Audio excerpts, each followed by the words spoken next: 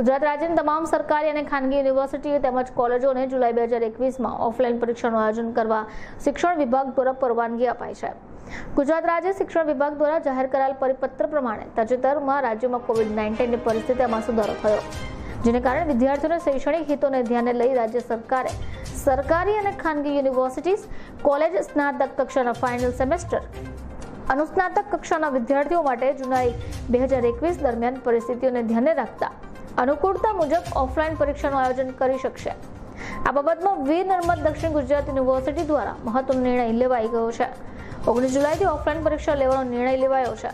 Academic કાઉન્સિલની બેઠકમાં આ નિર્ણય લેવાયો, જેમાં BA BCom BSc BBA semester છ ની પરીક્ષા રેગ્યુલર લેવાશે.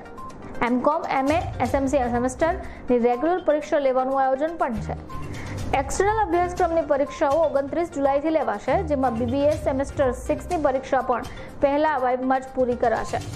આ નિર્ણયને પગલે કોલેજ વર્તુળોમાં પણ સડબડાટ જોવા મળ્યો છે.